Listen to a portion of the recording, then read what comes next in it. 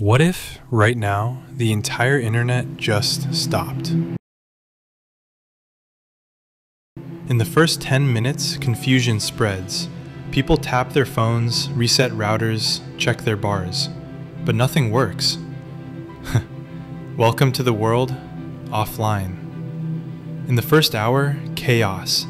Flights grounded, stock markets freeze, hospitals lose records, even ATMs stop working. Turns out, the web isn't just social media, it's society. In 24 hours, panic turns to silence.